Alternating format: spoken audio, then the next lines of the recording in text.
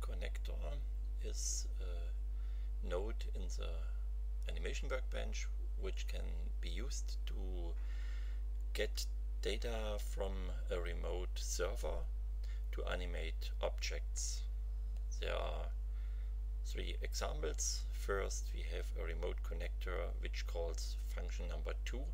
It is a linear movement. Second a helix movement. That means a circle in x and y and linear in the z-axis.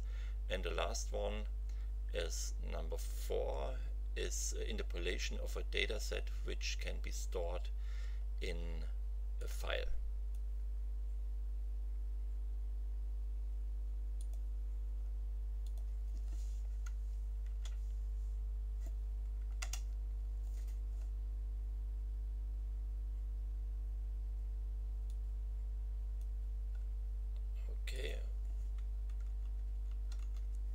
First I have to start the server.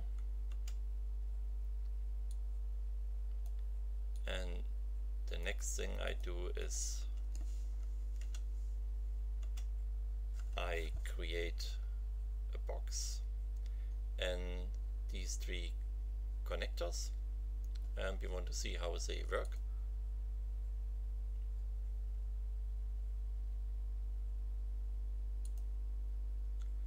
So first. The linear connector or the, the connector with the linear function if I change the value of the time in my dialer I can with the movement the second is the the helix movement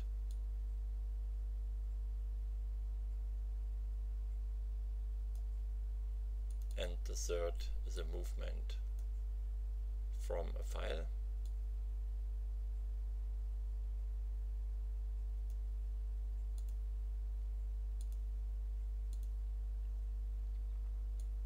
I can put them into managers and can start the managers and they will work too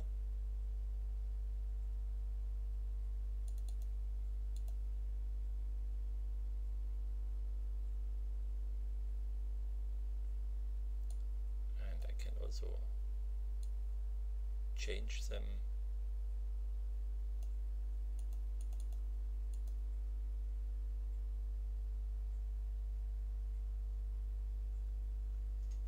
Okay what is the structure of the functions in the server? Uh, we have the examples. The first is the linear move. Here I have a function which only computes x. axis is the, the running time, uh, which multiplies x with 100, with minus 100, and there is another linear function. For the helix, I have these terms, met cos and met sin uh, of the x value, and the last one is given a curve.